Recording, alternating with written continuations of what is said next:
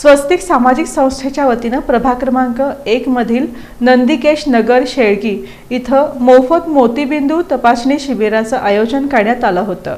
सोलापूर शहर मोतीबिंदू मुक्त करण्याच्या उद्देशानं गेल्या चार वर्षांपासून स्वस्तिक सामाजिक संस्थेच्या माध्यमातून मोतीबिंदू तपासणी आणि शस्त्रक्रिया शिबिराचं आयोजन करण्यात येत असतं.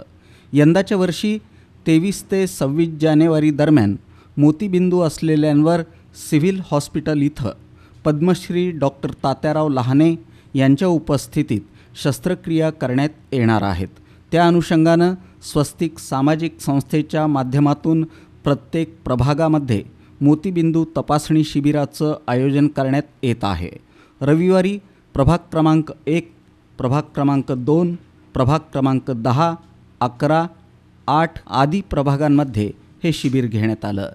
यावेळी नगरसेवक डॉक्टर किरण देशमुख अविनाश पाटील ज्ञानेश्वर कारभारी नारायण बनसोडे डॉक्टर चव्हाण समर्थ ज्येष्ठ नागरिक संघटनेचे अध्यक्ष बंडप्पा इंडे अशोक खानापुरे काशीनाथ रोडगीकर बी एस मंथा शिवलिंग शाहबादे सोमनाथ रगबले आदींची उपस्थिती होती. परिसरातील नागरिकांनी शिबिराला उत्स्फूर्त असा प्रतिसाद दिला.